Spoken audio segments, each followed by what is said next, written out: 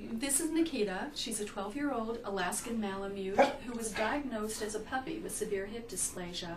She's been on different products all of her life, and with Dr. Bear's Boost Bars, she's managed to live a fairly normal life, even with the dysplasia.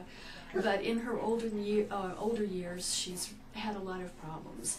She's not been able to get up. Uh, her back end isn't moving properly. She basically had become a cripple. She couldn't go up and down the steps, uh, and of course, her disposition had become very, very sour from being uncomfortable and hurting. Um, we were just absolutely thrilled when Dr. Baird came out with this product, and she's actually been on it since December the 1st. And immediately we noticed a difference in her, almost weekly. We would see her acting years and years younger.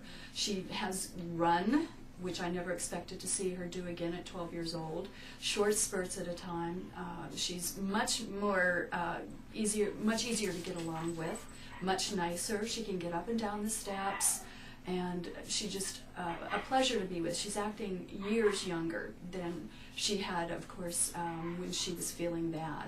And we were really thinking we were going to have to put her down because of her not being able to move. And this is just really, really wonderful.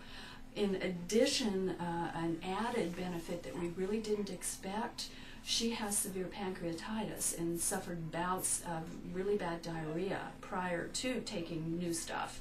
And what we've noticed since she's been on it is she has not had a single bout with pancreatitis. It seems to be uh, an improvement to her digestive cycle.